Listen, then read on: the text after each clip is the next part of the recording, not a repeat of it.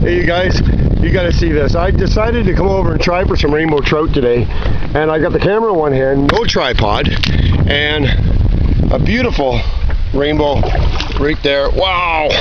Oh, and just an awesome, awesome rainbow. This is going to take a little work to get this one in, but I just decided to change up a little bit. I was using roe and uh, a float rig, and I decided to switch over to a a uh, what do you call it there? A floating floating jig head, a split shot. He's got my other line all wrapped up too.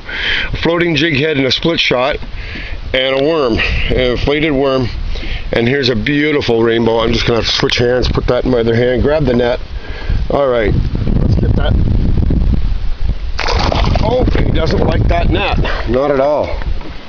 Okay, all right. Here we go.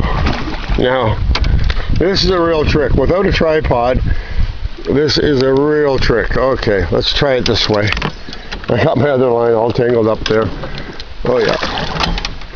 Oh, this trout does not want to come near the net either. Oh, I hope I just got to take it easy here. Because he's, he's just bulldogging here. Let's get him over this way. There we go. Oh.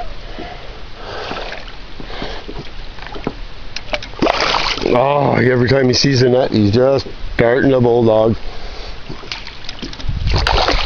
Well, I think we're going to have to do some editing here.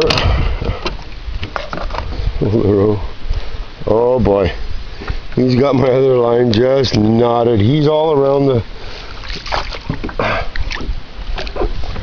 Oh. Okay, we're having fun now, I want to tell you. I,